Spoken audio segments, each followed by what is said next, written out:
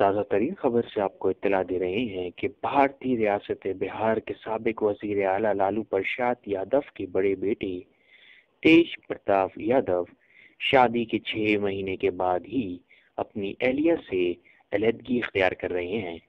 بارہ مئی دو ہزار اٹھارہ کو تیج پرتاپ اور ایشوریہ کی شادی ہوئی تھی، جس کے بعد سے ہی دونوں کے درمیان تنازع پیدا ہو گیا تھا۔ بھارتی میڈیا کے مطابق تیج پرتاپ یادو نے پٹنہ سول کورٹ میں علیحدگی کے لیے درخواست بھی داخل کرا دی ہے۔ تیج پرتاپ نے درخواست میں کہا ہے کہ وہ ایشوریہ کے ساتھ نہیں رہنا چاہتے۔ معلومات کے مطابق اس معاملے کی سنوائی انتیس نومبر کو ہوگی۔ علیحدگی کی غرض دینے کے بعد تیج پرتاپ لالو پرتاپ سے ملنے کے لیے رانچی کے لیے روانہ ہو چکے ہیں۔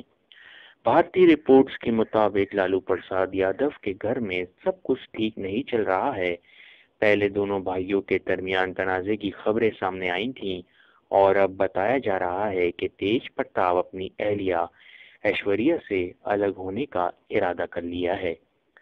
تیج پرتاپ یادو کے وکیل کمار شرما نے یہ درخواست کی ہے اور عدالت سے کہا ہے کہ ہندو میرج ایکٹ کے تحت دفعہ تیرہ ایک کا علیحدگی عمل میں لایا جائے۔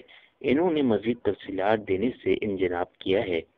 لالو پرساد کے خاندان والوں نے اس بارے میں لا علمی کا اظہار کیا ہے۔